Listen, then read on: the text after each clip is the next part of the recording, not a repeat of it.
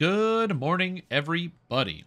Many of you have been playing the video game Dungeons and Dragons online and possibly even gotten to the end game. And you hear people talk about filigree, filigree, filigree. You got to get your filigrees sorted out. You've probably watched YouTube videos of mine where I say, oh yeah, you figure that out in your filigrees, or your filigrees are a huge amount of stats, or possibly you've just seen a video or a clip of somebody with like a hundred of a main stat, like a hundred charisma, and you're like, dang, how do you get 86 charisma? That's crazy. How do you do that?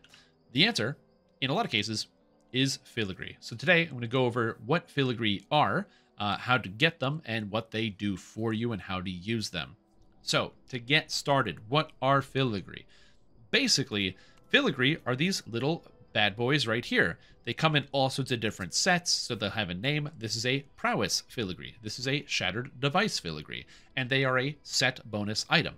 You equip them to your character, and you get the bonus that they tell you. So this says it gives me one strength. And if I have more Shattered Device Filigrees equipped to my character, I get more stats, like attack and damage, double strike, and other things. But how do you use these, and where do you get them?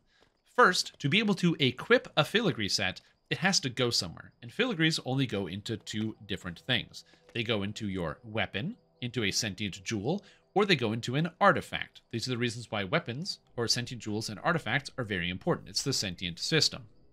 So, I have my weapon here, the Inferno's Desire, and it says Sentience, Wave, and then it tells me the XP on it. So this weapon alone um, has a sentient jewel in it. You can hear it singing in the background because your sentient jewel has its own mind of its own. If I access the system, which is this button here, modify sentient items, I'm going to drag my kama right over here, and now it's going to open up the menu. And I can see I have the Sentient Jewel of the Wave up here. This is my jewel. And I have all of my filigree sets in here. So to get started, you need a weapon to put a Sentient Jewel in, and you need a Sentient Jewel. But how do you get a weapon? How do you even know where you can put it in? Anything of level 20 or higher, any weapon, you can put a Sentient Jewel in. Although this is an end game system, it's for level 29 plus, so I would recommend waiting till you get to level 29 and get a level 29 weapon. And you just slam a Sentient Jewel in there. But how do you get a sentient jewel? Let me show you. Um, to, to, get your first sentient weapon, what you want to do is come to Ravenloft. This is the easiest way to get it. If you own Ravenloft, this is the best way. You want to go to the land of Barovia. If you haven't done Ravenloft yet, you'll have to do the intro quest. Doesn't matter what difficulty, but you want to come here on Epic. By coming in on Epic, you can walk right down this path, and there is a man on the side of the road who gives you a weapon. It's a level 29 weapon, which is perfect for getting started with your first sentient item. So I'm going to go talk to to Tobar, the smith, and because I'm a kama user, I can just say, oh, hey, you're going to give me a weapon? Thanks, dude. And he gives me a brand new legendary weapon. These weapons are some of the best ways to get started, so if you own the Ravenloft expansion, don't forget you can just come get one for free once you're level 29, and I'm going to take the Morning Lord's Kama. It's a very high damage weapon, level 29 is perfect, and it says there, the little yellow text, accepts sentience. So that means I can actually use this properly. So I'm going to take this. So step one, I now have my weapon. I have my sentient item, or my item that I can put a jewel in. But where do you get the sentient jewel? Talk to Tobar again, and he gives you a sentient jewel for free. Um, each one of these has a personality in it. So this is the Jewel of the Hopeful, the Jewel of the Inquisitive, and the Jewel of the Resolute. So just be aware they will talk to you and they have different personalities. The Hopeful is super bubbly and cheery and is excited about everything. The Inquisitive is more pessimistic and kind of whines and complains a lot. Um, and then the Resolute is just steadfast and always talks about, you know, going forward and moving forward. So depending on what personality you think would mesh the best with yours, pick your sentient jewel wisely. So I'm going to take the sentient jewel of the Inquisitive here and just throw it in. So if I want to use this, I then drag my kama over this menu and then I put in my sentient jewel here. Now, a couple important notes. Before I do that, you'll notice that my own sentient jewel, once I put my weapon in, says it has sentient XP. How do you get that and what does that mean? Um, basically, the sentient XP that you have determines how many slots you have on your sentient jewel. So the sentient jewel, this one, because it's brand new, has one filigree slot. So I can put one filigree in. You'll notice that I have nine of them. So my weapon alone, just this weapon, just this jewel, is giving me plus two charisma, plus two charisma, so that's four charisma already, or four of them, yeah. Uh, five melee power, nine fire spell power, and four universal spell power, 5% absorption, plus one constitution and plus two physical resistance rating, five more melee power, another plus one charisma, and three physical resistance rating, and then all of these set bonuses on here. Bonus imbue dice. I'm picking up um, fire absorption and fire spell power, more imbue dice. I've got three pieces of sanctified fervor for healing amp and melee and range power. So getting more um, XP on your jewel lets you put in more uh, filigrees into it. But that's where the hard part comes in. How do you get sentient XP? You got to take your named items, like this legendary red raptor feather, and you have to feed the jewel. And you feed it by dropping it in here. This is my jewel, and I feed it by dropping a named item in. The amount of experience you're going to get is based on the level of the item. So for my recommendation, don't feed anything below level 26 because the amounts are dramatically worse. But any item level 26 or higher will give you 10 times its minimum level in experience points. So this will give me 310 experience for my jewel. Now you'll notice I have 158,000 and my next slot is at 210,000. So when I feed this item, Ready for some new that really didn't do a whole lot. Uh, it takes a lot of named items to fully max out your sentient jewel, and it will take you a very long time. But of course, you can see the obvious benefit right away. I have so much, uh, so many stats that I just get from this weapon, and that's where a lot of people get their super high stats, uh, is by getting their sentient jewel, putting it in, feeding it full of named items, just putting more named items into it. This is not randomly generated gear, so if you happen to have like a sword that you picked up out of a quest, uh, do I have any non-named items? I don't because I didn't plan that far ahead. But let's say you just pick up like a randomly generated sword. It doesn't work. It has to have a name on it. It has to say like Legendary Crown of Butterflies or whatever. It has to have the flavor text. You know what I mean? Unnamed item. Now, let's go into the second part about this. a couple key things that you want to know just really quick. Um, sentient jewels don't come out easily. So if I have my kama here and I put in my sentient jewel, boom, Excellent. It you can hear it screamed at me. It's ex, it's very happy. Uh, you can see I've got one slot. Uh, it takes 2,000 X sentient XP, so it starts out pretty pretty quick. You just feed some items and it goes up fast. But uh, the amount you need will take a long time.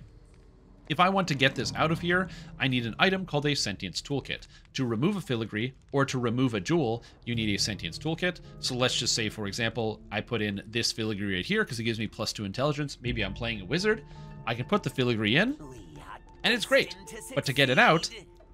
I can't get it out. It doesn't come out. The only way to get it out is to use a sentience toolkit. So you need to be a little bit mindful how you use some of your filigrees, your rare filigrees, or your sets. You want to think about it before you put it in to make sure that you're not um, just you know kind of throwing it in and getting rid of it. Um, to remove it, sentience toolkit, and now it's out. And it goes back into my inventory, so it's in my colossal augment bag here. That's the reason why they sell colossal augment bags, is because most of what you're going to be picking up in these bags are filigrees. Not actual augments, but the filigrees. They do go in the bag. Uh, they also go in your shared crafting storage, but that's not the point.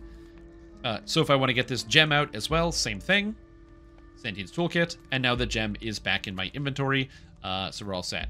How do you get these? They randomly drop in endgame content, so anything Ravenloft or beyond will be dropping Sentience Toolkits from chests. They're rare, but you can get them. And you can also buy them in the DDO store, uh, and I think it's 245 points for 10 or something like that. They're relatively inexpensive, but it still is uh, kind of annoying to buy them. So again, make your decisions accordingly as you go. The last thing I want to say about the jewel, let's just say you hate your voice and you don't want it anymore, and you want to use one of the other cool ones, like mine. I have the Wave. The Wave does not come from Ravenloft. It comes from the quest White Plume Mountain, and it's one of three sentient jewels that drop there. Um, if you want to get a new sentient jewel, but you've already been powering this one up, you can actually feed one sentient jewel to another. So, if let's just say, for example, um, you know, I wanted to have I had a bunch of XP on the Inquisitive and I wanted to use the wave. My wave is in here. I could feed my Inquisitive Jewel to my wave, and then all of the XP from my Inquisitive Jewel goes into my wave. Um, artifacts are similar in that they are items that come from quests. You can get artifacts in Sharn, in Isle of Dread, all over the place. It's just a special type. It'll say minor artifact at the top. There's just no gem. So you don't have to put a gem in an artifact. Um, you can just put your filigrees inside of it and power it up. Important note, artifacts only hold three slots, or if they're a Isle of Dread artifact, they get four. Um, or if they're a perfected artifact, totally different thing. You'll get there when you get there. Um, you can have four slots in them, uh, and you can also only wear one artifact at a time. But artifacts tend to have higher stats, so as it says on here, my Dinosaur Bone Bracer gives me 15 Charisma because it's slotted into a artifact. So you get more stats if you use an artifact. Artifacts are good. So every character will generally have one sentient weapon and one uh, one artifact to get their filigrees in. And the set bonuses are shared between the two. So if I have my weapon here and I've got the um, Wreath of Flame in my weapon, I can also put some Wreath of Flame in my artifact and they'll count together for the total set. So obviously I have all four of them here, but uh, in my artifact I have currently this one called the Sanctified Fervor and Reverberation, so it gives me two different sets for one. Uh, and I have this in my weapon, which means that I'm going to get two pieces. So I've got one in my artifact, one in my weapon. It gives me two pieces of Sanctified Fervor and two pieces of Reverberation because I have it in both of them.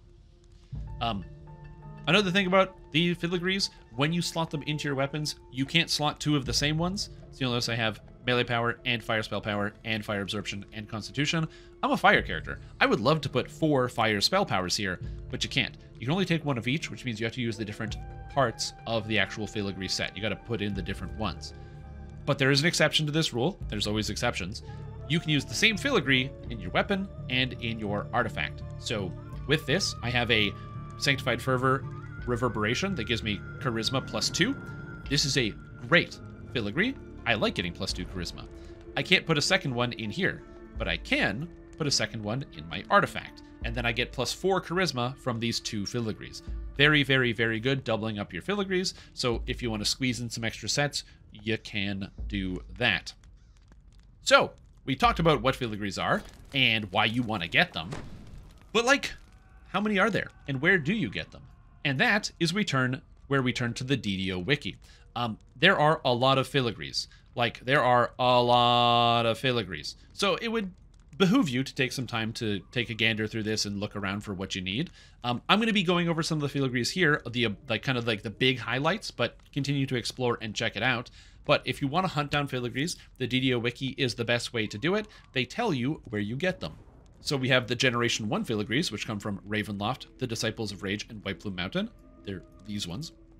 The Generation 2 filigrees, which come from Masterminds of Sharn quest, Soul Splitter quest, the Lost Gatekeeper quest, and the Promise of Fire quest here, and the Generation 3 filigrees that come only from Saltmarsh, as well as the new filigree from Snow Peaks. So if you want to find your filigree sets, let's say you don't know what you want to use and you're like man maybe i could use city's beacon. That seems kind of cool. Uh, it gives me magic resistance rating if i have two pieces when i hit people. That's kind of sick. Maybe i'll put that on my melee and do some stuff. Um, that's great. Where do you get it? Well, it's Generation 1, so you know you can go to Ravenloft, Disciples of Rage, or White Plume Mountain. Um, so, let's talk actual filigrees. This is going to be a high-level look at some of the filigrees, what are some of the ones that are good for melee, and what some of the good, good ones for range, and some of the good ones for spellcasters and tanks. Um, we'll start with something that's pretty easy. For tanks, generally what tanks want are health, physical resistance rating, magical resistance rating, and the best filigrees you're going to pick up for that are Nystul's Mystical Defense. This comes from Ravenloft, or it's the Generation 1 filigree. The most of the filigrees oriented around defense, constitution, uh, elemental absorption, and stuff for the individual bonuses. And you get the set bonus, which gives magical resistance rating, uh, all saving throws, and hit points. 100 hit points is a lot of base hit points, and it's pretty nice to have. Other than that, you've also got Grandfather's Shield, which gives a percentage bonus to armor class. Um, you can also pick up percentage bonus to armor class through the Unbreakable filigree, which I should have taken out here as well. So there's quite a few different tank filigrees, but mostly what you want to do, if I'm being honest, is just put in individual constitutions. Um, so as you go through like the filigree sets, uh, you'll notice here that Beast Mantle has Constitution. Well, that's one Constitution, so just shove that one in there. You may know you don't even need the set bonus on a tank. Let's grab Blood Feast Constitution. Uh, let's take a Cry of Battle Constitution, and you just get a bunch of hit points. Very helpful on a tank. On a melee, little bit of a different story. Melees have a lot of things that really amp up their damage. So, uh, you've got prowess. This is one of the best filigree sets in the entire game, as the 5-piece set bonus says whenever you action activate an action boost, you gain plus 50 melee power for 10 seconds. Almost every single melee in the entire game will use the prowess set. Uh, this used to be 100 melee power when it first released, and it got nerfed to 75, and then it got nerfed to 50, and it's still one of the best ones, so release day prowess was pretty good. And the idea is you just press an action boost, which already gives you a lot of damage, like 30% attack speed, and then it gives you 50 melee power, so you do 50% more damage with your attacks. Prowess? Very good. But it's a five piece set, so you need five of these different filigrees. Shatter Device is another good filigree for melees. It gives you attack and damage, double strike. And then the four piece set, which is what most people use, when you attack enemies, it reduces their melee and range power by 10 for 10 seconds.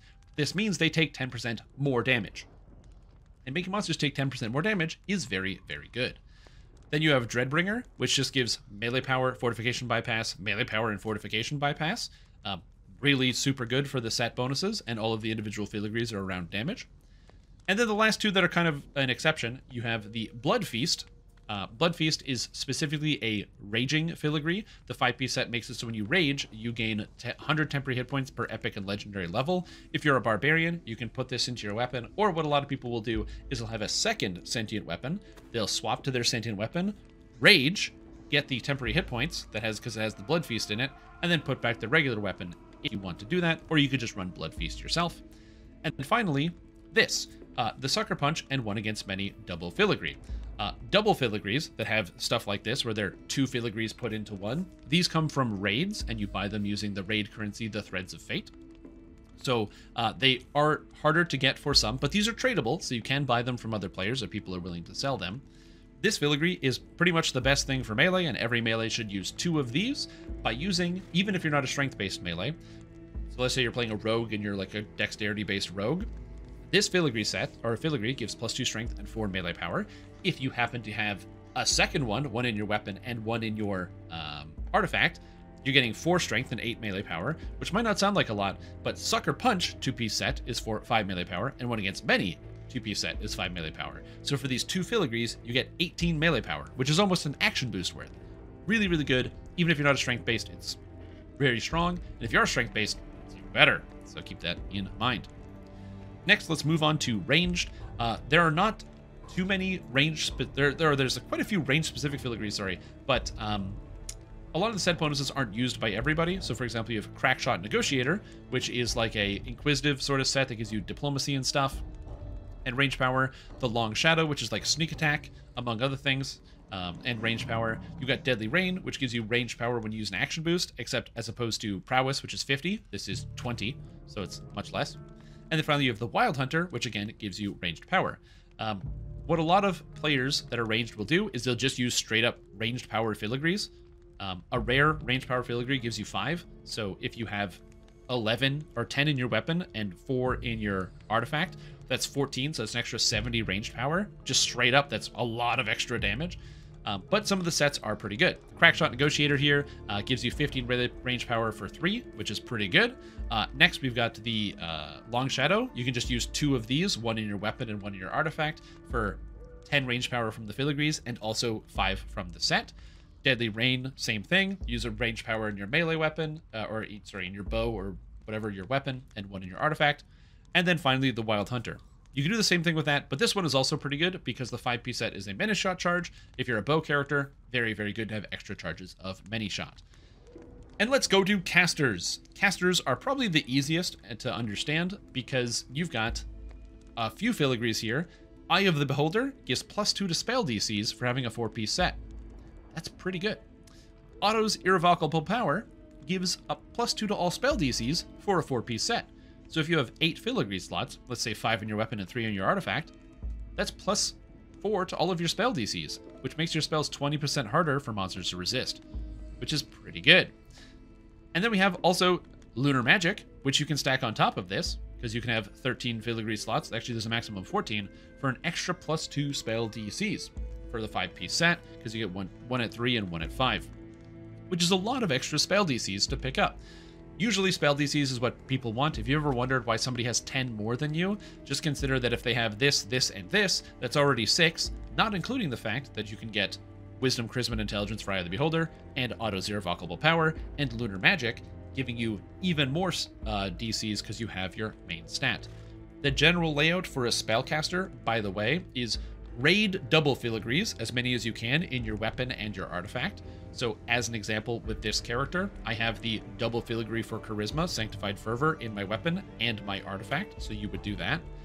There's also a double filigree for To Hell and Back Embraced by Light, which gives plus 2 charisma. And then you would fill in with the rest of these DC amplifying uh, filigree sets. However, there are two exceptions. One, have you ever wondered why people say that cold damage is the best damage in the entire game? The answer is right here. This is the only filigree set that gives spell crit uh, to one element, and it is the cold spell crit. Frozen Wanderer 2 piece set gives 5% cold spell critical. That means that cold spells have 5% more spell critical than other different spell types, more 5% more than fire, 5% more than light, 5% more than everything else. So the benefit here is you get to pick up on that extra 5% crit, and 5% might not sound like a lot, but it's pretty huge. Um, that's the reason why you've got cold druids, cold alchemists, cold sorcerers everywhere. That is what you got.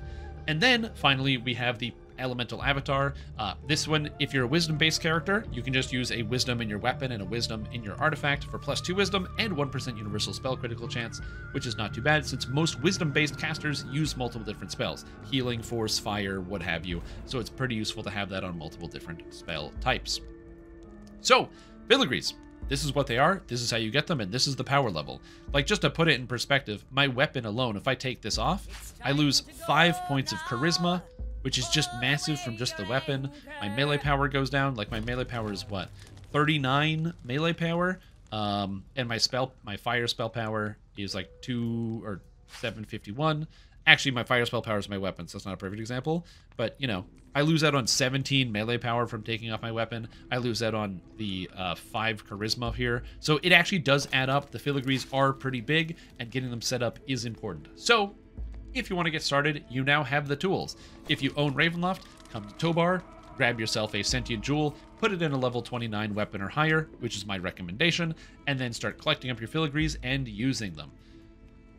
The last thing I want to touch on is how do you get a specific filigree? Let's say you're like, okay, Strimtom, I'm playing melee, I want to get prowess filigrees, I'm going to go to Ravenloft, and you start farming it out. And you run 10 Ravenlofts, and you get like two filigrees, because there's like a thousand of them, so you have tons of different filigrees. Almost every chest drops a filigree, but I don't get the prowess ones. I don't have the prowess ones that I want. And that's where trade comes in. Uh, when you get to the end game, make some friends and talk to some people. Everybody has hundreds of millions of filigrees. Look at my bag. Look at this. I have so many filigrees in here, I don't even know what to do with it. So, if you need a filigree, join a group, and then while you're playing, say, hey guys, does anybody have any X filigrees? And uh, uh, people will just come in droves and be like, yeah, no problem, I got tons people have tons of filigrees. We stockpile them up.